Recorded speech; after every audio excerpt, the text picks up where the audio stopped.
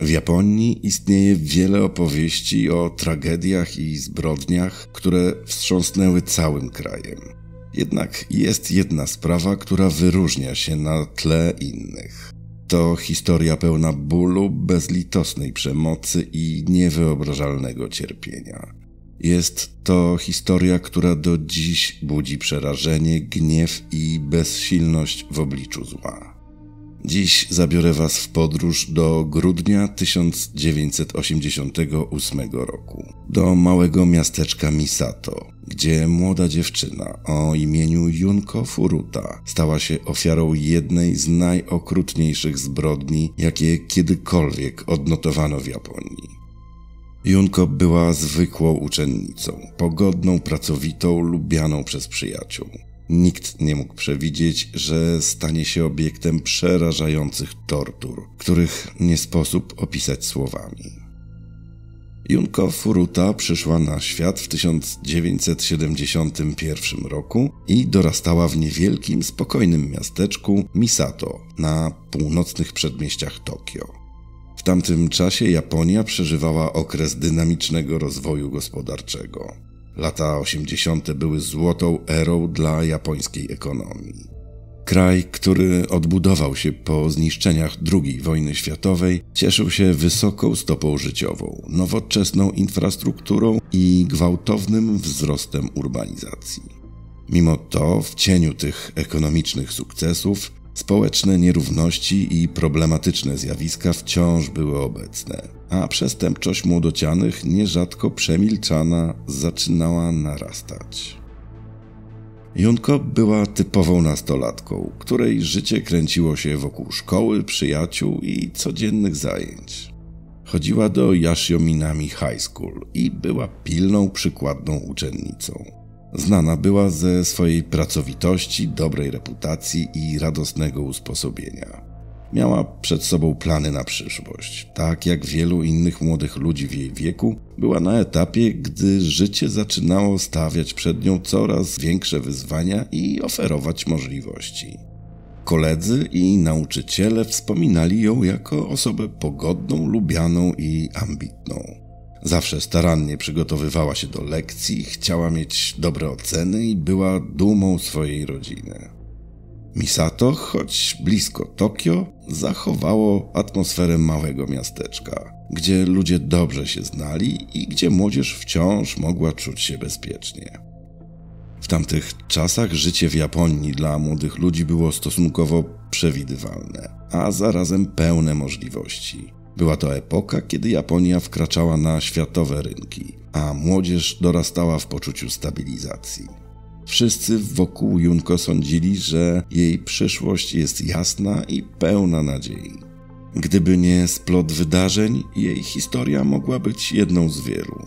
Typowa nastolatka dorastająca w Japonii lat 80., ale tego wieczoru, wracając do domu, znalazła się na drodze tych, którzy odebrali jej wszystko. Hiroshi Miyano, Nobuharu Minato, Zo Kamisaku oraz Yasushi Watanabe. Mimo, że byli młodzi, między 16 a 18 rokiem życia, już wcześniej wchodzili w konflikty z prawem i wyrobili sobie reputację jako brutalni i nieprzewidywalni członkowie lokalnej grupy przestępczej powiązanej z Jakuzą, japońską mafią. Miyano, lider grupy, był znany ze swojego wybuchowego temperamentu i miał aspiracje, by wspinać się wyżej w strukturze Jakuzy. To dawało mu poczucie siły, nietykalności oraz brutalną pewność siebie, która przerażała jego rówieśników. Był listopad 1988 roku. Junko wracała do domu ze szkoły. Była to zwykła trasa, którą pokonywała niemal codziennie. Jednak tego wieczoru wszystko miało się zmienić. Miano i jego wspólnicy wędrowali po mieście w poszukiwaniu nowych, ekscytujących wrażeń. W ich oczach Junko była łatwą ofiarą. Widzieli w niej kogoś, kogo mogli zastraszyć i wykorzystać. Mieli już doświadczenie w napadach, rozbojach i przemocy, ale to, co zrobili Junko, wykraczało daleko poza zwykłe akty przemocy. Plan był prosty, ale okrutny. Mijano podszedł do Junko i zagroził jej przemocą, zmuszając do współpracy.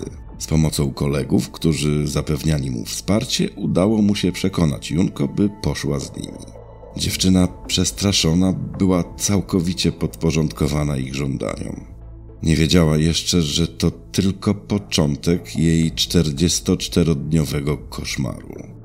Chłopcy zabrali Junko do domu jednego z nich, Nobuharu Minato, gdzie planowali ją przetrzymywać. Dom ten, choć na zewnątrz wyglądał jak typowy, spokojny dom w japońskim stylu, stał się areną przerażających wydarzeń, które miały miejsce przez następne tygodnie. Życie Junko miało zamienić się w koszmar. Wszystko to odbywało się w cieniu niewiedzy jej rodziny i znajomych, którzy nie mieli pojęcia, co się z nią dzieje. Rodzina Junko zgłosiła jej zaginięcie, ale chłopcy grozili jej, zmuszając do dzwonienia do rodziny i zapewniania, że jest bezpieczna, lecz chwilowo uciekła z domu. To dało oprawcom swobodę działania i wystarczająco dużo czasu, aby ich zbrodnia pozostawała w ukryciu.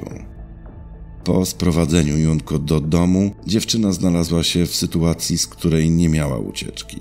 Przez kolejne 44 dni była przetrzymywana i brutalnie torturowana. Chłopcy od początku zamierzali przetrzymywać Junko przez dłuższy czas. Obiecywali sobie, że ich zabawa będzie trwać tak długo, jak będą chcieli. Wbrew logice i wszelkim zasadom moralnym, zamienili dom Nobucharów w miejsce sadystycznych i niewyobrażalnych tortur. Przy czym rodzinie Nobucharu kazali udawać, że nie dostrzegają niczego podejrzanego. Wszyscy czterej wykorzystywali swoją przewagę siły, brutalnie naruszając nietykalność Junko.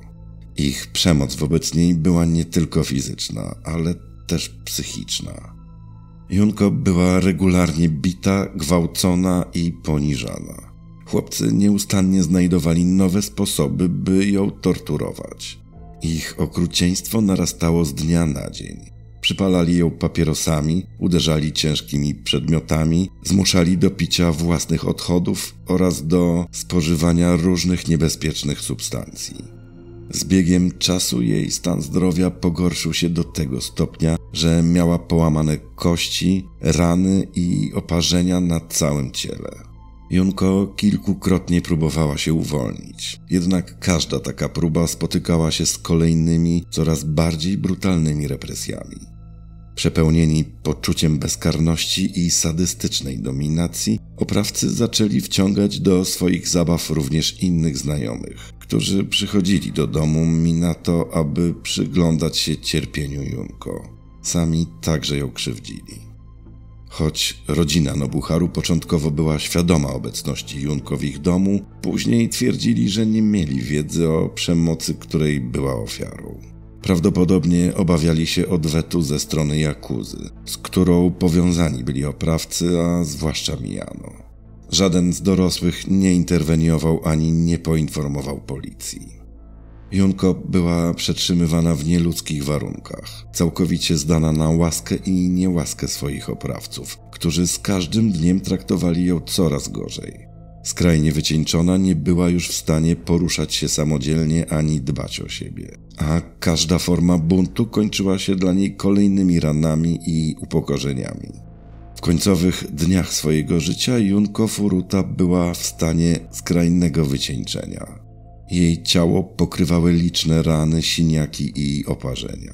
Była niezdolna do samodzielnego poruszania się, a skala obrażeń była olbrzymia.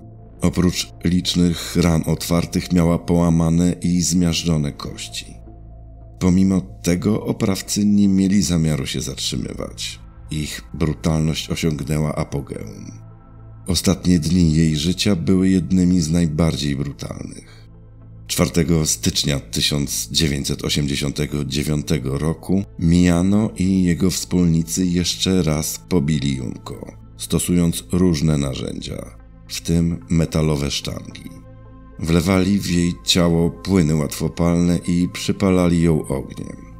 Ostatecznie po 44 dniach Z powodu odniesionych obrażeń jej organizm ostatecznie nie wytrzymał i Junko zmarła w wyniku obrażeń wielonarządowych, które obejmowały m.in. poważne uszkodzenie organów wewnętrznych i liczne krwotoki.